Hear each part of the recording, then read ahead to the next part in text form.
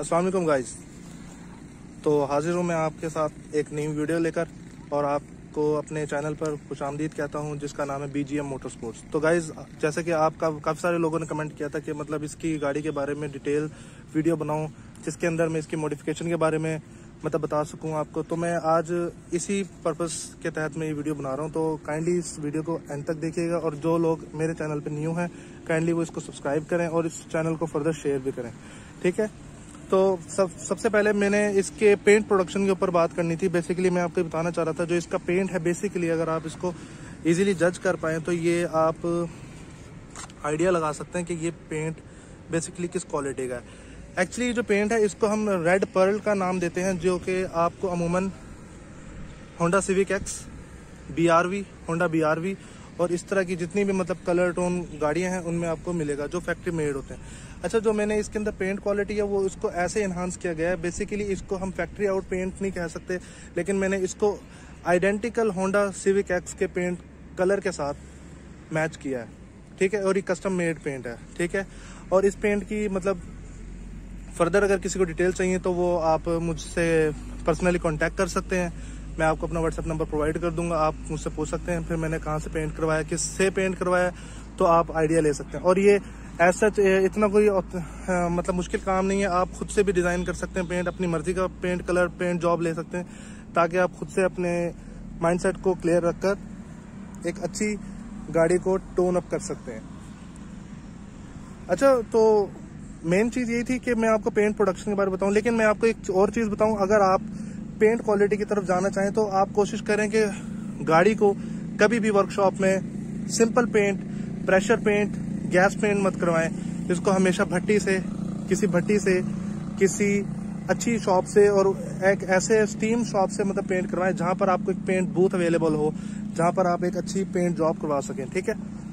और फर्दर मैं आपको बता, बताना बताता चलूँ कि मतलब इसकी जो पेंट जॉब है इसको काफ़ी सारी सीरीज़ के अंदर मतलब प्रोसेस किया गया। आपको पता है कि जैसे गाड़ी को पहले सबसे पहले पूरी इसकी बॉडी और उसके फ्रेम को ज़ीरो तक लेकर आया जाता है। यानी इसको बिल्कुल छीला जाता है उसके बाद इसको बिल्कुल एक स्टील बॉडी के अंदर लेकर आया जाता है ताकि इसके प्रोसेस को मतलब फर्दर रीन्यू किया जा सके और इसको एक पेंट प्रोसेस में लेकर आया जा सके। तो आपको ये एक और चीज़ बताता चलूँ कि जो इसके अंदर पेंट की जो क्वालिटी है उसको डिफरेंट सेक्शंस में डिफरेंट सेटिंग्स में डिफरेंट प्रोसेस और डिफरेंट फेजेस को ले, में लेकर इसको बनाया गया अच्छा हम इसको बताना चाह रहा था कि जैसे कि इसके जो पेंट प्रोडक्शन का जो प्रोसेस था उसके अंदर प्री प्रोडक्शन है फिर पोस्ट प्रोडक्शन है और उसके अलावा फिर एंड में जाकर इसको पेंट प्रोसेस में यानी गैस और इंटू कहते हैं ना जैसे लेकर प्रोसेस होता है तो वहाँ तक लेकर गए हम। अच्छा जो सबसे पहला इसका पेंट प्रोडक्शन का फ़ेज़ था, वो ये था कि मतलब इसको स्टील बॉडी में लेकर आना है, फिर उसके बाद इसके ऊपर प्रोटीन्स अप्लाई करनी है, लेकिन प्रोटीन्स भी ऐसा अप्लाई नहीं की, कि जो आपको लगे कि यार इसमें एक्स्ट्रा प्रोटीन है। तो हम, मैं इसको ये कह सकता हूँ कि ये आपको एकदम जेन्यन बेस्ड प्रोटीन और के साथ जेन्यन पेंट की फील प्रोवाइड करता है। तो इसकी खासियत ये थी मॉडिफाई करने की, कि मैं चाहता था कि इस गाड़ी को मैं एक जेन्यन कस्टम पेंट प्रोडक्शन के साथ लेकर आऊँ। मतलब मैं एज सच उस तरह का पेंट नहीं चाहता था कि मतलब एक गाड़ी पर पेंट हुआ है ऑलरेडी उसी के ऊपर मैंने प्री अप्लाइड पुटीन्स लगवा दी हैं उसके बाद मैंने फर्दर उसके ऊपर पेंट करवाया और पेंट प्रोसेस डन करवाया। नहीं, ऐसा बिल्कुल नहीं है।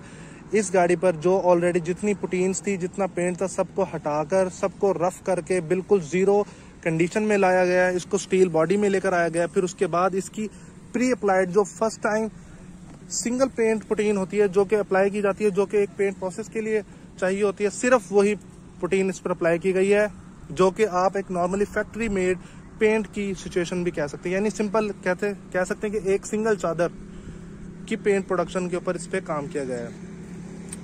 और फर्दर मैं आपको इसके पेंट के प्रोसेस और इसकी डिटेल के बारे में बताता चलूँ तो ऑल इन ऑल मुझे जो पेंट का मतलब टोटल मुझे जो कॉस्ट पड़ी है वो अराउंड नाइन्टी फाइव थाउज़ेंड है, ठीक है? जिसके अंदर इसके स्टार्ट वन डे वन से लेकर डे एंड तक जो बेसिक है, वो इसके अंदर मौजूद है, ठीक है? फर्दर मैं आपको इसके इंजन बे के अंदर का भी पेंट दिखा दे जो इंजन बे का पेंट है, वो भी सेम एज इट इज़ इसी पेंट जॉब क्वालिटी में।